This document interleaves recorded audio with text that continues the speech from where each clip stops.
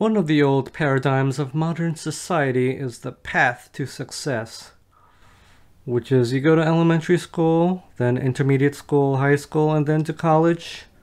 I know that the rest of the English speaking world re- refers to university rather than college. But I'm going to use the word college from now on in this video because it has less syllables, so it is easier to say. Going through college used to actually guarantee you a job so that you could buy food, pay rent and taxes, and survive. But things are changing. I am here to tell you that you do not have to go to college. I'll share my own story with you for a little bit. I went to college for 10 years, taking as little credits as possible because I hated it so much. But I did it because I thought I had to. I thought that if I graduated from college, I would be guaranteed a job so that I could make money to live in this money based civilization. But I was wrong. I'm not saying that everyone should skip college. I think if you're a regular person that fits into the box of society that most people are in, if you feel like you fit in, you have a lot of friends, you're comfortable in crowds, and you don't suffer from anxiety or depression, then college is probably right for you.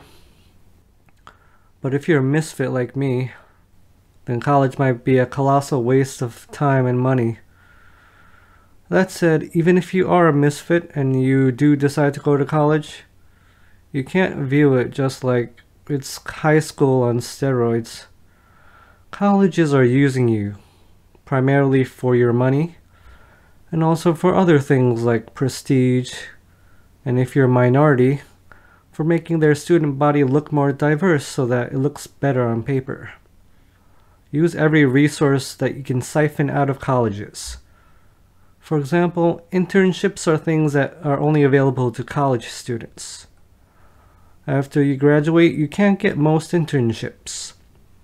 I didn't know this when I was attending college I was so sick and tired of studying and going to and from class that I had no energy to do anything else, let alone apply for internships. Don't make the same mistake I did. Do internships because they will give you actual job related experience that you can shove onto your resume to make yourself look better. So, what did I study in college? I majored in computer science and I have a bachelor's degree in it you might think, that's awesome! Because computers are really big right now in modern society. But the degree itself really doesn't mean anything. Because what companies are looking for are the specific job related experience in the programming languages and APIs that they use in their companies.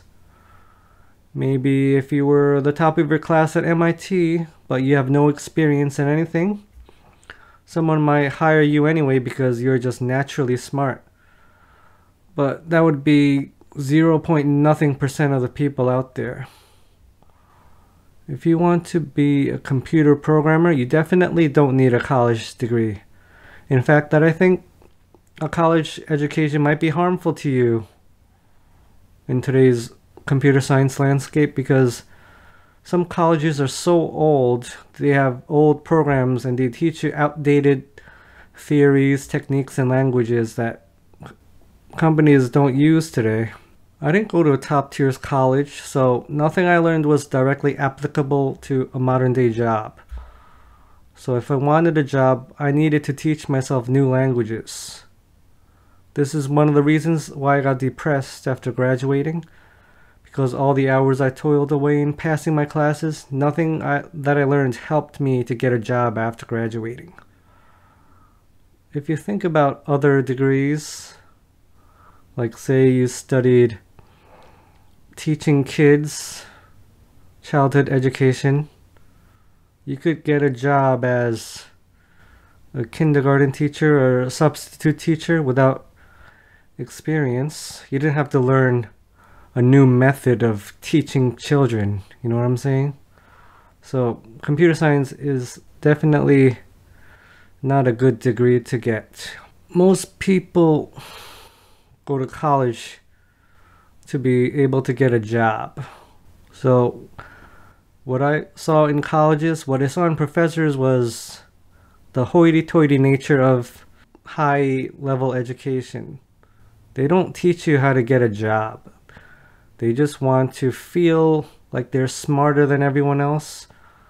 So they'll teach you stuff just for the sake of it and not to be able to apply it to real life. Because in reality, we don't want to be educated for the sake of education. We don't want to be smarter or learn things. We go to college, most people go to college to be able to get a job afterwards. That's just the reality of life. We need to make money so that we can buy food and pay rent or property tax to the government. At the same time, I could be completely wrong about college today. Because today I think there are more computer science programs out there that teach skills that are directly usable in the workplace. For me, I graduated almost 10 years ago. I just went to a local university and went through its computer science program, so I didn't go to MIT or anything that was cutting edge. So I didn't do any research into if my college would prepare me for life after college, which it definitely didn't.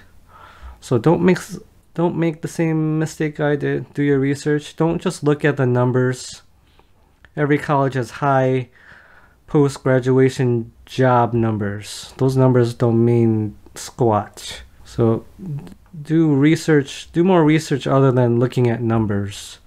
Because you might see like an 85% job acquisition rate after college, but that really doesn't mean anything.